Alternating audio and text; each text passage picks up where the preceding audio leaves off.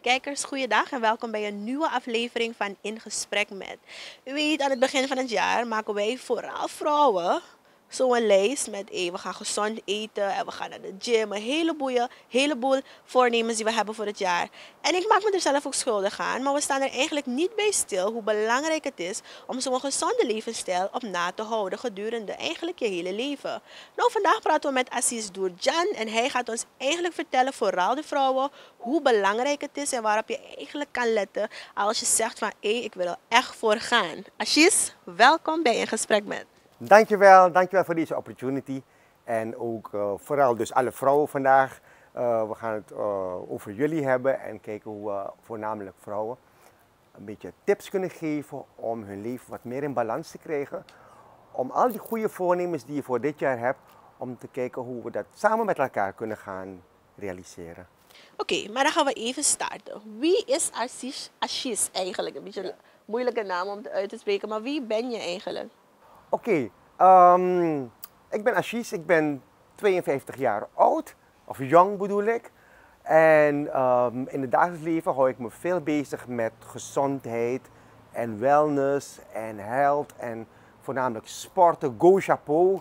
Daar sta ik voornamelijk bekend om. Ik geef grote groepslessen aan hele grote groepen. Veel dames komen er, maar het is voor dames en heren.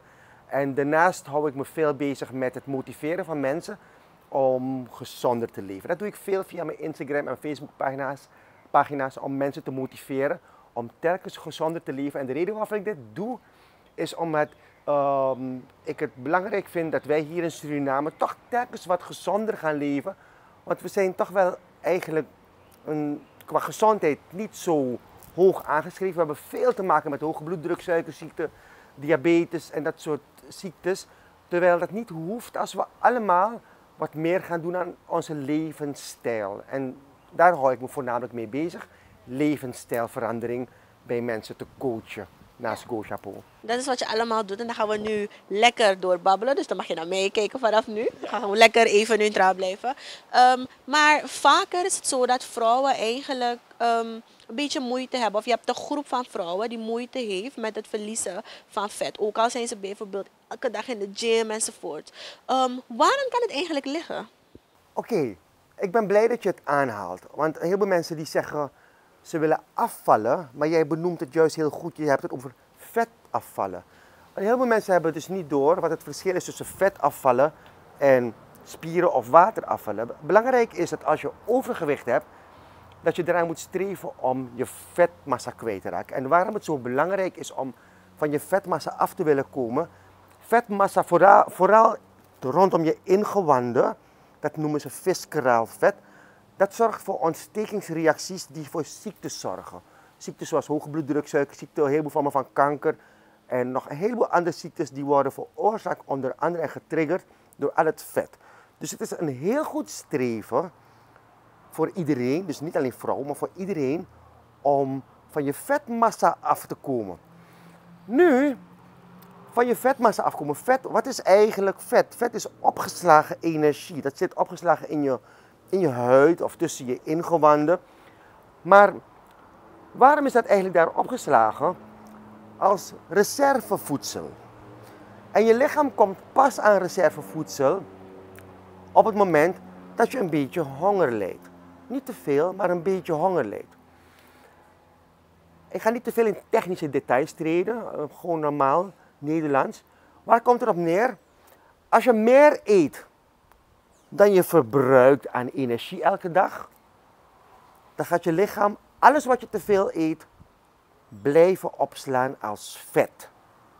Dus ook al train je elke dag, als je toch meer energie naar binnen eet, dat je opgeteld bij elkaar verbruikt naar energie, dan gaat je lichaam alles wat te veel is blijven opslaan als vet. Als voorbeeld, stel je, je traint elke dag en je verbruikt aan calorieën 2000 kilocalorieën per dag, maar je eet 3000 calorieën per dag, dan gaat je lichaam het verschil, die 1000, toch blijven opslaan als vet. Dat wil zeggen, je blijft maar dik worden. Dus je kunt trainen elke dag hoeveel je wil. Maar als je niet op je eten en je drinken let, dan kun je gewoon toch nog dikker en dikker en dikker blijven worden. En dit is eigenlijk een van de grootste fouten die iedereen maakt. Men denkt, als ik naar de gym ga elke dag, of ik train elke dag, of ik ga een beetje rennen elke dag, kan ik eten en drinken wat ik wil, want ik verbrand het toch. Ja. ja, dat is iets wat ik vaker ook al heb gehoord. En ik heb me er ook wel schuldig aan gemaakt in het verleden. Ehm, maar ik wil toch wel weten, je hebt toch wel vrouwen die zeg maar zoiets hebben van, maar waar moet ik beginnen? Omdat, ja, het kan zijn dat je nooit eerdere begeleiding hebt gekregen of gewoon niet weet waar je aan toe bent. Dus wat, zijn, of wat is eigenlijk een goede stap of wat zou een goed fundament zijn om te beginnen? Oké, het allerbelangrijkste is, is weten wat je wil. Daar begint het mee. Jezelf afvragen, wat wil ik? En daarbij, waarom je dat wil. Als je voor jezelf deze vragen kan beantwoorden, dan begin je alvast aan je mindset te werken van dat je bereid bent om te veranderen. Want op het moment dat je niet bereid bent je levensstijl te veranderen, dan ga je ook niet bereid zijn om anders te leven. Op dieet gaan werkt namelijk nooit. Het is niet de bedoeling dat je op dieet gaat, maar het is de bedoeling dat je levensstijl voor altijd verandert. En dat ga je blijven doen, kunnen blijven volhouden, als je snapt waarvoor je het doet. Dus die vraag af, jezelf afvragen, wat wil ik echt en waarom? En eigenlijk zou het antwoord daarop moeten zijn, ik wil graag afvallen om, in een, om een betere gezondheid voor nu en mijn oude dag te creëren. En als je dat doorhebt, waar je het voor doet, als je doorhebt dat als je te dik bent en je daardoor gewoon ziektes gaat kweken, en je wil dat niet, dan ben je bereid om die offers te brengen en die dingen te laten staan voor eens en altijd, waarvan je eigenlijk al weet dat het dikmakers zijn. En dan heb ik het niet over sporadisch een keertje wel een glaasje soft drinken, maar op het moment dat je er een gewoonte van maakt, ik haal een glaasje soft als voorbeeld aan, maar op het moment dat je er een gewoonte van maakt om elke dag in plaats van water te drinken, dingen te drinken waar veel zoet in zit, dan weet je eigenlijk al van je kweekt daarmee overgewicht.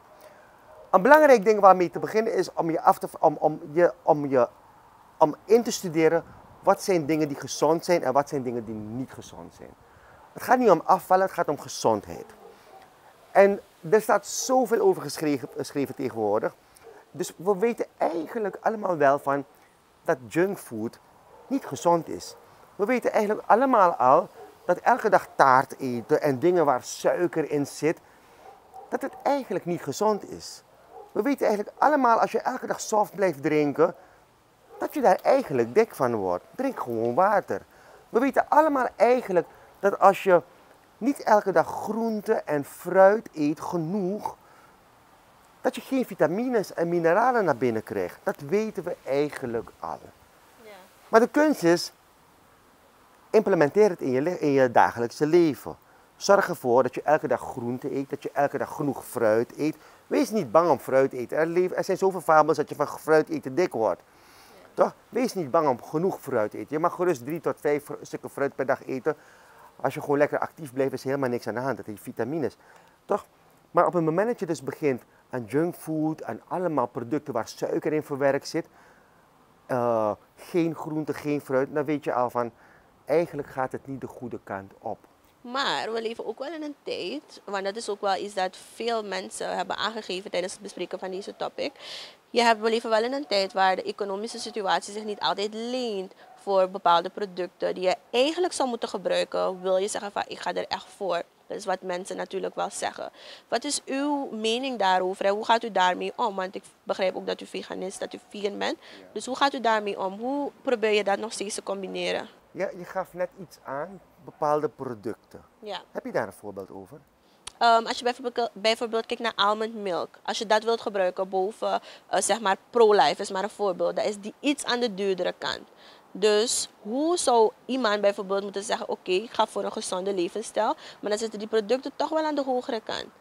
Oké, weet je, een heleboel mensen leven in de illusie dat ze producten nodig hebben.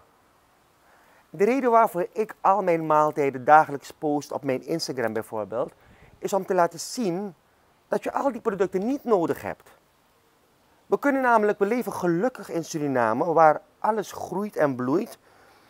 En er is helemaal niks mis mee om al je vitamine en mineralen uit groente en fruit te halen die allemaal hier zo mooi groeien.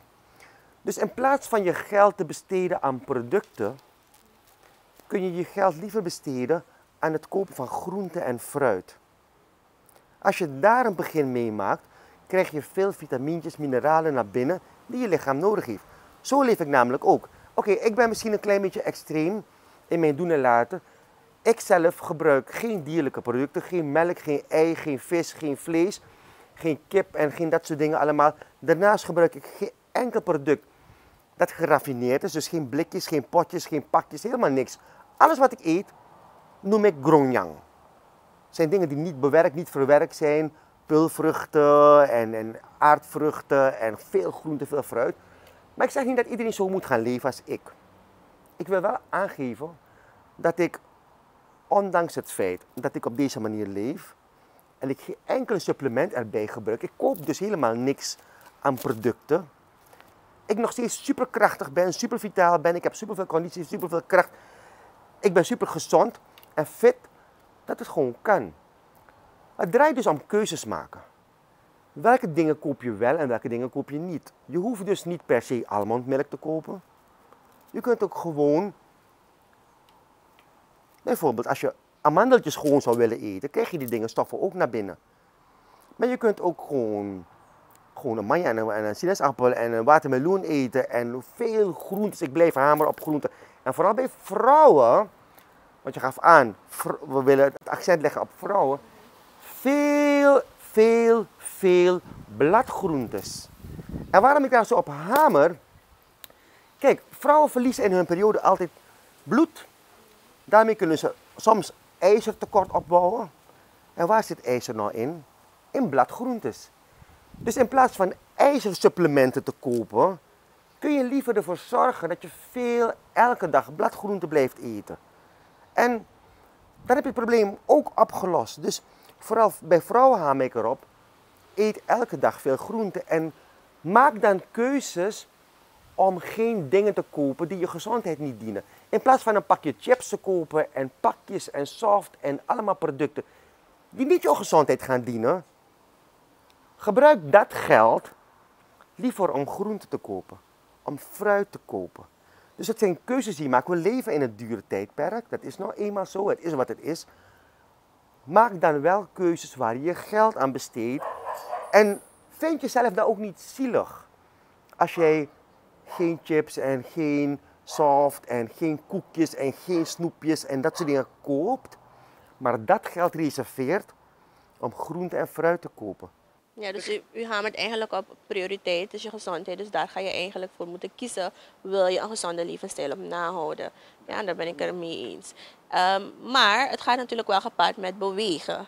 En u staat wel bekend als iemand die heel erg fit is en heel erg energiek is. Kunt u een beetje daarover vertellen? Ik vind het leuk dat je dat aanhaalt. Want bewegen, ik heb het net even over voeding gehad, eigenlijk keuzes maken in voeding. Maar gezond leven bestaat eigenlijk uit vier belangrijke punten. Voeding is één punt. Bewegen is een belangrijk punt. Daarnaast hebben we slapen, elke dag goed slapen. En stress kunnen vermijden in je leven. Je gaf bewegen aan. Bewegen is erg belangrijk, omdat ons lichaam heeft een lymfestelsel dat ervoor zorgt dat alle afvalstoffen elke dag uit je lichaam geplast of gezweet worden. En als die afvalstoffen niet uit ons lichaam verwijderd worden elke dag, krijg je ophoping van allemaal afvalstoffen in je lichaam. En die veroorzaken ziektes. Onze lymfestelsel wordt getriggerd door te bewegen. En als je dus elke dag een half uurtje beweegt, en je hoeft niet naar de gym te gaan of naar de sportschool te gaan of whatever, ook al ben je actief in de tuin, of ook al ga je een rondje lopen, als je maar elke dag half, een half uurtje actief bent aan al je spieren van je lichaam, een beetje beweegt, dan is het voldoende om je lymfestelsel te activeren, waardoor je die afvalstoffen uit je lichaam haalt. Als je daar een gewoonte van maakt, elke dag, om dat te doen, dan zorg je voor dat je lichaam van binnen schoon is. als je lichaam van binnen schoon wordt, dan, kweek je daar, dan veroorzaak je daar, zorg je ervoor dat je daardoor minder of geen ziektes kan kweken. Daarom hamer ik zo op bewegen. En ik sta er bekend omdat ik heel actief ben. Elke dag doe ik mijn workout. We zijn nu in, onze, in, mijn, home gym. Waar ik elke dag thuis gewoon een uurtje aan het trainen ben. Mijn eigen oefeningen met bodyweight, dus lichaamsbeweging. Doe ik, ik word wakker en doe ik gewoon een uurtje trainen. Ik doe een uur omdat ik super fit wil zijn. Maar niet iedereen hoeft super fit te willen zijn. Maar een beetje fit is wel het minste wat je jezelf eigenlijk zou moeten aandoen. Als je namelijk zegt dat je graag vitaal oud wil worden. Want heel veel mensen schrijven, je bent ermee begonnen, maken lijstjes, ik wil graag dit jaar fit zijn. Wat ben je bereid daarvoor te doen? Het gaat niet alleen om het willen, fit willen zijn, maar het belangrijkste is, wat ga je doen om fit te worden? Wat ga je doen om gezond en vitaal oud te willen worden? En dat houdt in elke dag wat doen. Je hoeft niet naar de gym te gaan nogmaals. Als je ook een rondje gaat lopen elke dag, is het helemaal prima. En dan ga ik het weer over vrouwen hebben. Veel vrouwen, vrouwen die kampen met hun overgewicht. Twee op de drie vrouwen in Suriname die heeft te maken met obesitas. Dat is veel.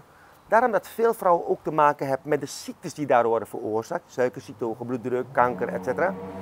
Dus ik probeer ook juist vrouwen te stimuleren om toch wat meer te bewegen. En ik snap dat het soms moeilijk is met een gezin. Maar omdat je ook vaak voor de kinderen moet zorgen.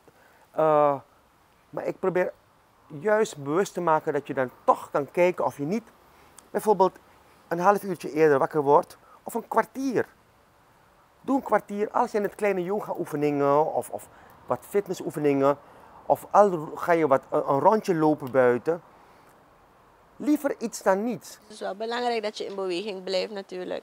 En u heeft um, um, zeg maar een dansgroep of een dansschool, als ik hem zo mag noemen. Kunt u daarover een beetje meer vertellen? Wat doet u precies en um, waar draagt het eigenlijk aan bij? Want ik denk dat mensen zoiets hebben, is het Zumba, is het gewoon oefenen op muziek? Trouwens, die vraag had ik al aan u gesteld.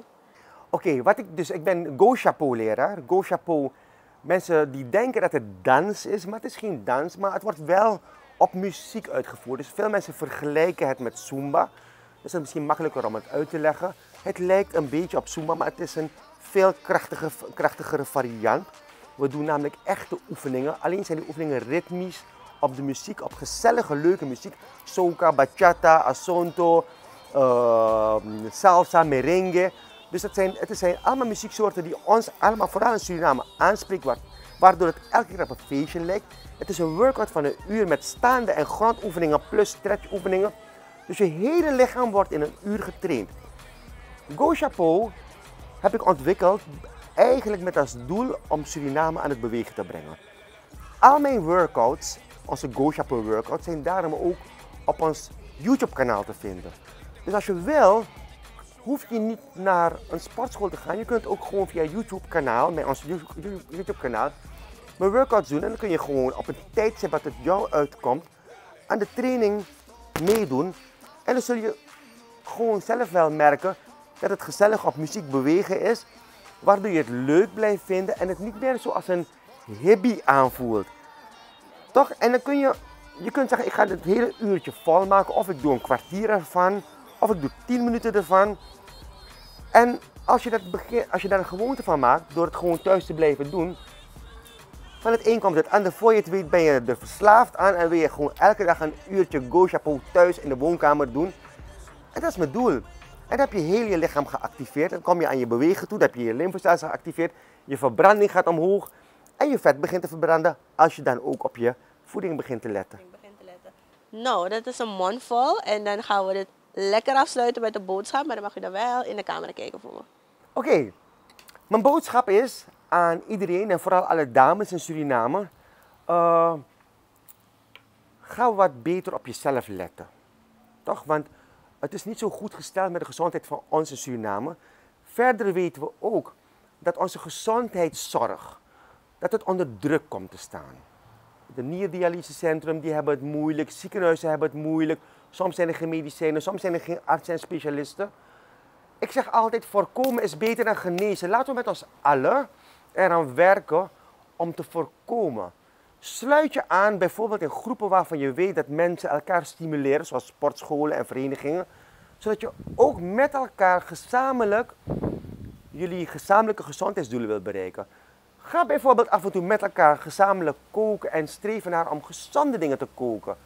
Ga groeperen met elkaar en doe dingen samen. Maar laten we wel met elkaar ernaar streven om telkens een gezondere variant van onszelf te worden. En dat kan als je het wil en als je snapt waar, waar je het voor doet.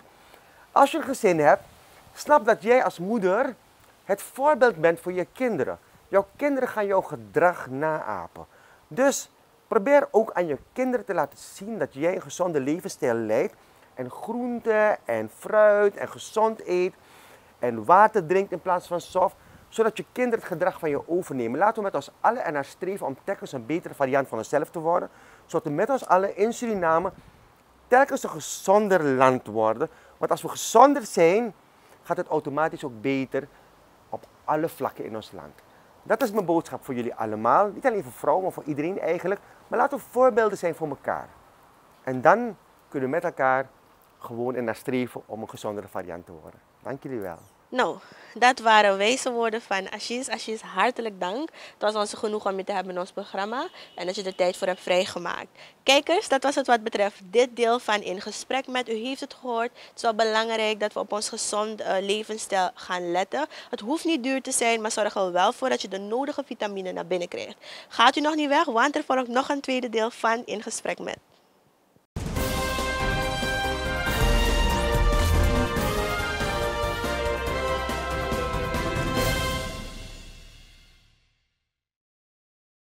Goedendag kijkers, welkom bij het tweede deel van deze aflevering van In Gesprek Met. In dit deel praten we met Xuang Rui Wang, adviseur van de Chinese vereniging de Squa. Met hem gaan we praten over het Chinees nieuwjaar welke op zondag 22 januari wordt gevierd.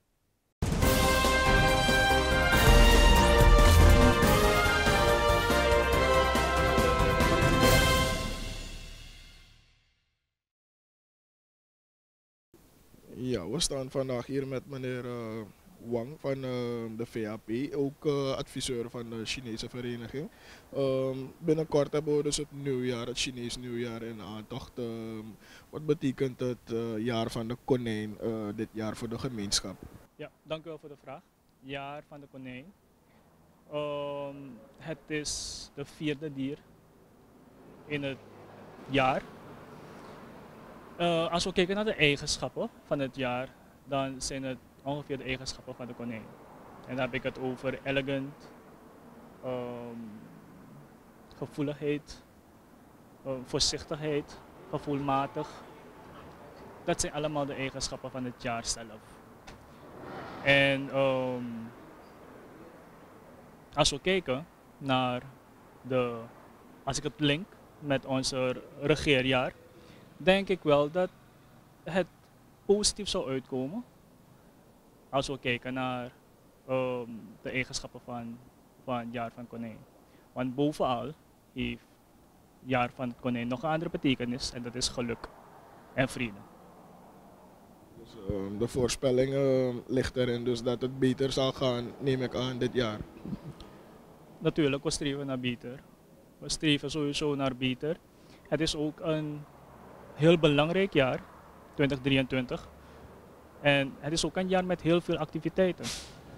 We hebben volgend jaar, sorry, we hebben 2023, we hebben dit jaar hebben we 170 jaar Chinese immigratie, 160 jaar uh, en ook 150 jaar Hindustaanse immigratie.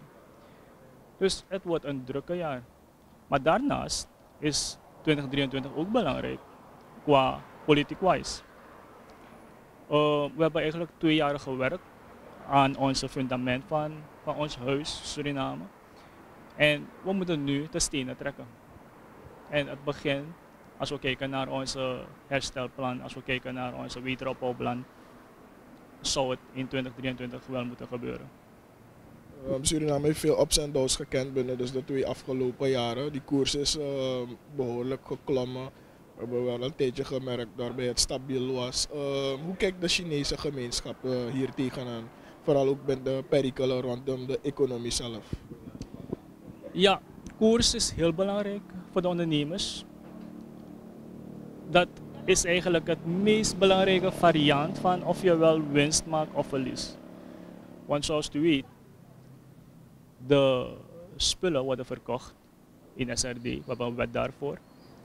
Maar wanneer de ondernemers, dan heb ik het met name de importeurs, wanneer zij spullen gaan laten halen, dan is het in de USD of in, in de vreemde valuta. Dus er is een, een fase waarbij je SRD moet omwisselen in US dollar. En als dat niet op tijd gebeurt, en wanneer we praten van we hebben uh, een stijgende, stijgende koers, dan kan de ondernemers verlies leiden. En daarom uh, is dat belangrijk. Maar zoals u weet, koers bepalen kunnen we niet middels een wet bepalen. En dat hebben, hebben we eigenlijk ook in DNA besproken. We kunnen niet met een wet bepalen, want als dat de mogelijkheid was, dan hadden we liever 1 op 1 gezet. Of 1 op 5. Toch? Maar dat kunnen we niet doen middels een wetbepaling. Koers is helemaal afhankelijk van vraag en aanbod. En uh, Suriname is een importland, nog steeds een importland. En de vraag is groot naar de US dollars. En dat is ook een van de belangrijkste redenen waarom er eigenlijk een schaarste is. Is de Chinese ondernemerswereld niet um, gedemotiveerd door dus de situatie onlangs? Um, ik heb nog geen echte grote um, geluiden gehoord. Ik, wel, ik heb wel met ondernemers gesproken. Ze zijn natuurlijk een beetje paniekerig. Ik zou dat woord demotiveren niet gebruiken, want we hebben ergere situatie gekend. En ik denk dat demotiveren onze laatste optie is wat we moeten doen in ons leven. We moeten altijd uitdagend als een uitdaging zien en de uitdaging wel aan kunnen gaan. Ik heb wel met ondernemers gesproken en ze zijn een beetje paniekerig. Ze zijn een beetje nerveus over de koerssituatie. Maar ik heb ze eigenlijk ook gelijk verteld wat eigenlijk de oorzaak hiervan is. Uh, met de invoering van BTW zijn ze natuurlijk een beetje paniekerig.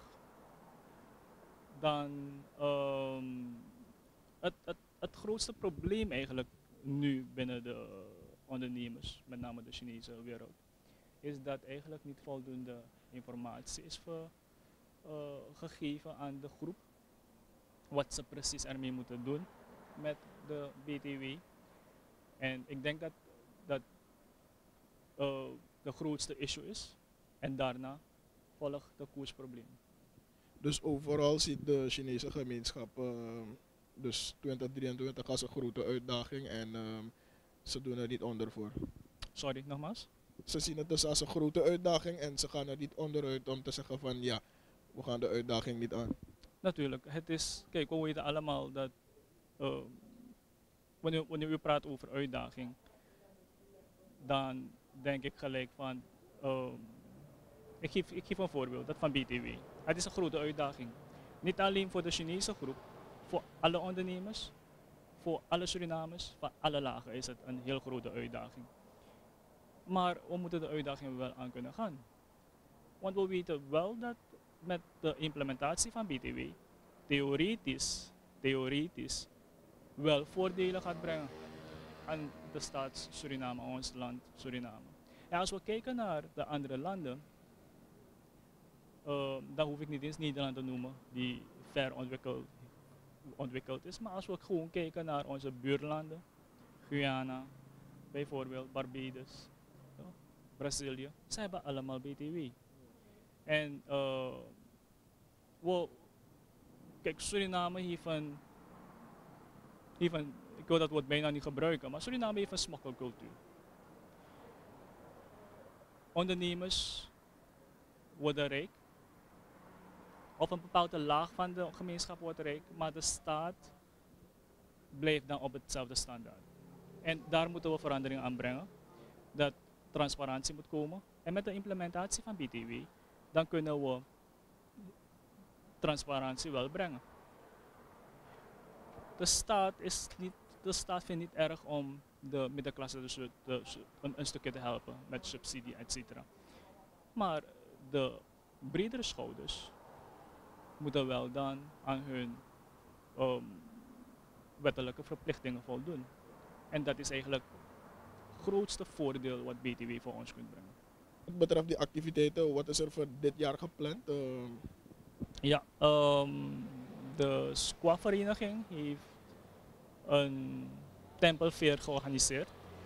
En dat wordt gehouden op zondag, dat is op Chinees nieuwjaar zelf.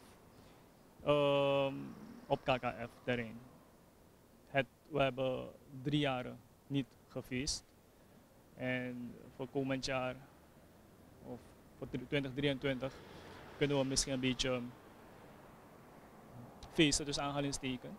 En daarom is het dan gepland om een tempelfeer te organiseren. Ehm, ja, dus het is, een, het is net als een beurs met eh, Chinese cultuur. Dan heb je misschien ehm, de traditionele kleding, een, een tentoonstelling van traditionele spullen van China, ehm, cultuur van China, verschillende art. En ook, eh, er zijn ook dans- en zangvoorstellingen. En daarnaast, niet te vergeten, zijn de nekkaneeën, de Chine- Chinese keuken. Ehm, dat is het zo'n beetje over Tempelfeer. Maar los van SQUA zelf, SQUA is een overkoepelende organisatie van eh 14 verenigingen. Hebben de verenigingen zelf ook andere organisaties, andere planningen, eh, andere activiteiten. En dat is, de meeste van de verenigingen hebben een etentje gepland, omdat Chinese nieuwjaar eigenlijk staat voor eh, bij elkaar komen om te eten, bij elkaar komen om gezellig te zijn. En dat is eigenlijk het hoofddoel van Chinees nieuwjaar. Want Chinees nieuwjaar is eigenlijk gelinkt met het manfeest. Manfeest is waarbij een beetje geschiedenis. Eh, u weet, China was een landbouwland. En landbouw was heel belangrijk voor de Chinezen van toen. Nog steeds eigenlijk. En daarom, tijdens manfeest was het een teken van oké, nu moet je stoppen met werken, want dan krijg je winter. En uh, Chinees nieuwjaar is juist het tegenovergestelde. Is winter is al voorbij, spring gaat komen. Dus het is weer tijd om te werken. Dus het is een, een, een tijd van nieuwe start, nieuwe begin. En het is een tijd van dat alle positieve dingen zullen gebeuren. Ook wel in het verleden genoemd de Land of the Rising Sun, dus eh, China. Het zou mogelijk zijn. Het, is dan, het past dan wel in het perspectief. En, ehm, er was dus twee jaren, dus vanwege COVID, niet echt een groot feest. Vorig jaar had namelijk de organisatie Sungyi hun eigen viering in het klein gehouden. Ehm, dit jaar dus wordt het iets groter. Ehm, wat zijn de, de voorbereidingen dus tot nu toe wat betreft die activiteiten? Is alles al eh, in startblokken? Ehm, de planningen zijn nog gaande. Ze zijn nog bezig. Ik heb net nog in de groep app gelezen dat vanmiddag weer een vergadering is. ehm, in verband met de planningen. Dus het werk wordt voortgezet. Thank you.